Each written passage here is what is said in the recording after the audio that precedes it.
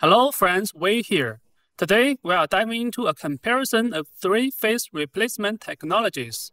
Flux-based PuLID, SDXL-based Instant ID, and the newly released SDXL-based Ecom ID. Each has its strengths, but none of them can achieve a perfect 100% face match just yet. To get closer to that goal, I created a workflow that claims to reach 100% face similarity. Recently, I've made a bunch of optimizations to it, including adding a high-res fix. I'll break down each part of the workflow step by step. So by the end, you'll understand how this approach can potentially get you that perfect face match. Let's start by taking a look at the workflow I built to compare the effects of these three face swapping technologies. There's a download link in the description below, so feel free to grab it for free and follow along. On the left side of the workflow, we have the basic settings. This is where you can set the image size, choose the checkpoint, input your prompt, and so on. Once you've configured these, they get passed to the right through nodes like bus node and anything everywhere, which then connect to the node groups for each of the three face swapping methods. This setup keeps the workflow cleaner and easier to manage. For example, both Ecom ID and Flux ID use PuLID's EVA clip at the same time. By routing it through the Anything Everywhere node, I can send it to both methods without needing extra wires. Similarly, the node that loads Instant ID passes through Anything Everywhere and is shared with both Ecom ID and Instant ID setups, making it super efficient. To keep things fair, I also added a Seed Everywhere node. This ensures that each face swap method on the right side uses the exact same seed, so we are comparing them under identical conditions. This way, we get a much more accurate comparison of the results. Now let's dive into the three face swapped node groups on the right side of the workflow. First up is the Ecom ID group, which is the most complex of the three. It loads both Instant ID and PuLID at the same time and has its own unique control net model. The other two node groups are simpler, so feel free to download the workflow if you want to explore them in more detail on your own. On the far right, there's a node group that stitches together the images generated by each method and compares them to the original reference image. I've added captions to these images using the image caption node. Just a heads up, you'll need to specify the path to a TTF font file here. Otherwise, this node will throw an error. I've run this workflow on a variety of faces. So let's go ahead and look at how these three face replacement technologies compare. In the top left corner, you'll see the reference face image we are using for comparison.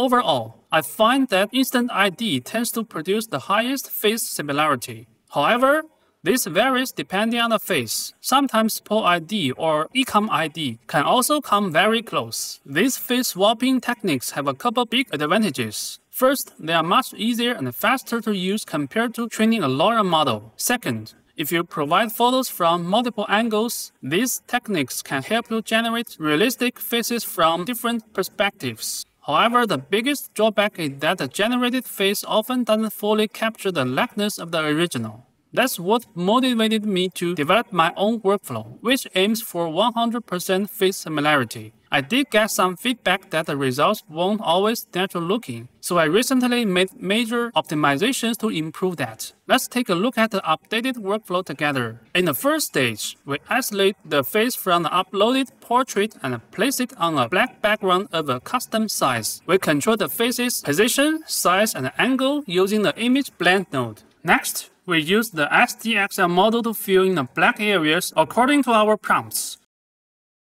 I'm using the Lightning model here, which generates an image in just 4 steps. The key here is the repaint type in ControlNet, which isn't available in models like Flux or SD 3.5. The basic composition generated by SDXL is in place, but there are still quite a few issues to fix. For example, we get strange halos above the head, a loss of detail in the face, seams at the neck, and sometimes even extra fingers. To tackle this, we have a node group on the right dedicated to restoring facial details. Other issues like the neck seam and unwanted artifacts are handled by the Flux model, which is both fast and effective. Thanks to the Turbo LoRa, it processes the image in just 8 steps.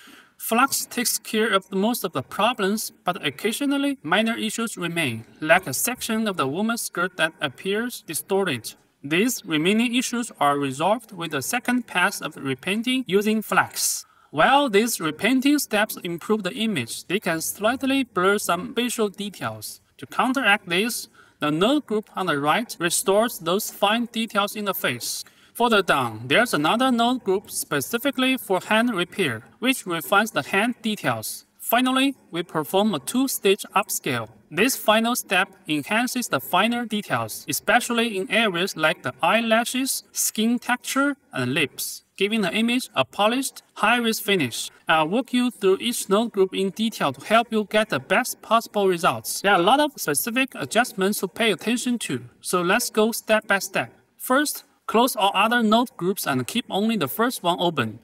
Once you've uploaded your image, start by filling in your prompts. Using the exposure adjustment node here to match the exposure of the image you want to generate. Next, use the Person Mask Ultra node to isolate the face. By default, only the face option is enabled, which usually works well. But if you also want to include here or other parts, you can enable additional options. Now let's run the workflow to see the separated face.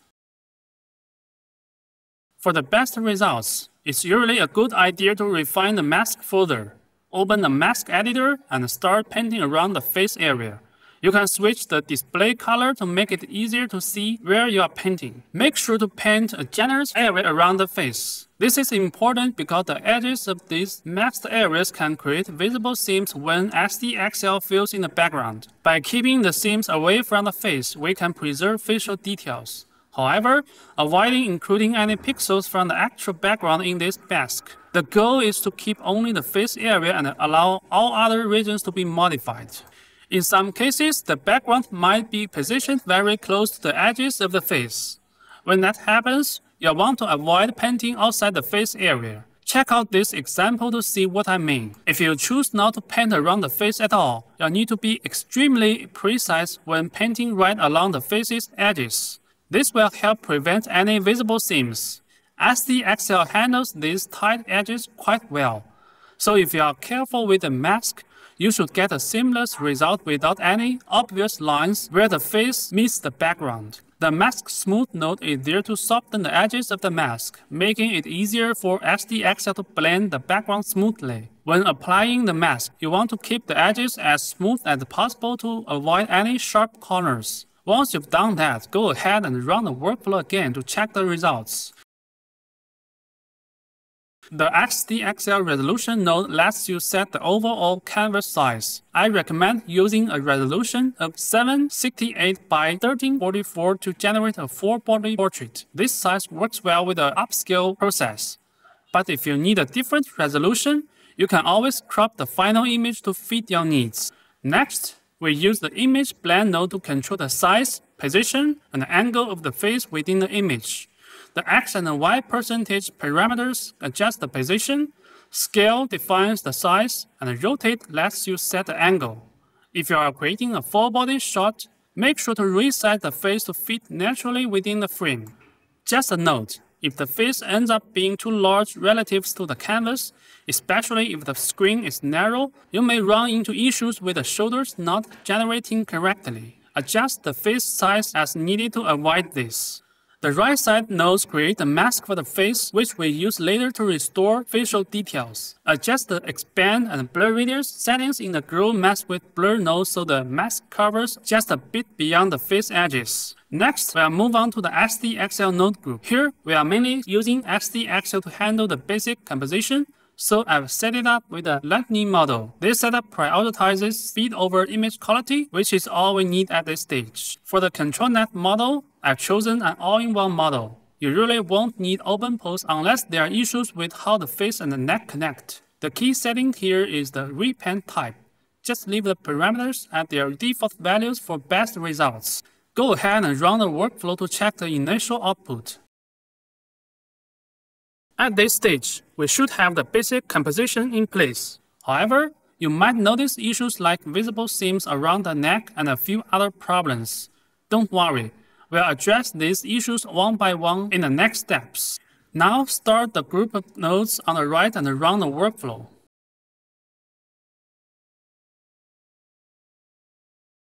This group is designed to extend the original mask, which includes the neck area. SDXL often creates a visible seam below the neck when it fills in the black area, so we need to expand the mask slightly to give us more control over this area. Adjust the expand and blur radius parameters carefully. The goal is to extend the mask enough to exclude the seam without affecting the face itself. This will prepare the area for the Flux model to handle the seam cleanup. The nodes on the right are also responsible for restoring facial details. Here we generate two slightly different versions of the face.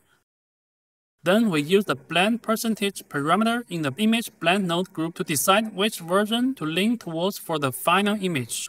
Once we are satisfied with the facial details, we'll use the Flux model to address any remaining issues in the image. I'm using the Flux-based Pixel Wave model here, which produces excellent high-quality artwork. If you are tight on video memory, the FP8 version at 11 GB works well. But if you have more memory available, you can opt for FP16 for even finer results. There's also a Turbo LoRa connected to this setup, which allows it to complete in just 8 steps. The InPaint model conditioning node is linked to the mask we extended earlier. Go ahead and run the workflow to see the results.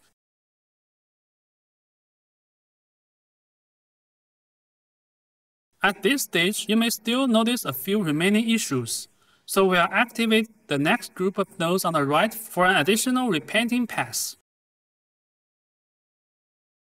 This second repainting helps fix lingering artifacts, and it also adjusts the hand if there were any problems with it.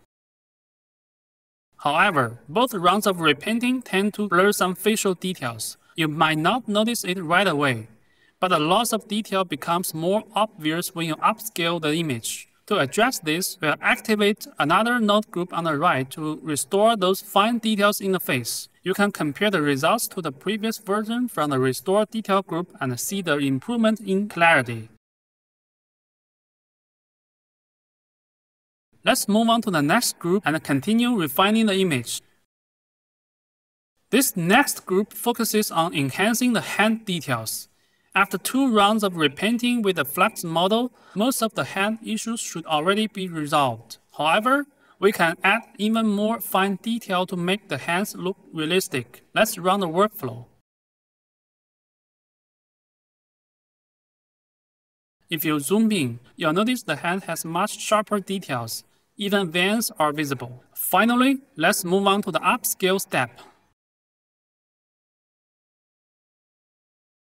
I chose the 4x upscale model specifically for the face, and then scaled it down by a factor of 2, effectively giving us a double upscale. If you have enough video memory, you can adjust this factor for an even higher resolution. I also included the LoRa to bring out more skin texture and detail. One important note, Make sure the scheduler in the sampler is set to exponential. This helps maintain consistency in the facial features, preventing them from shifting during the upscale process. Run a workflow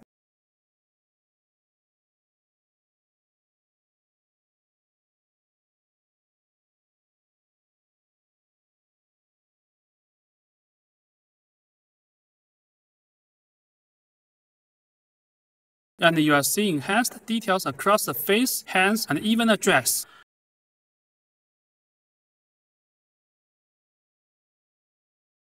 Now let's compare the final result with the original reference image.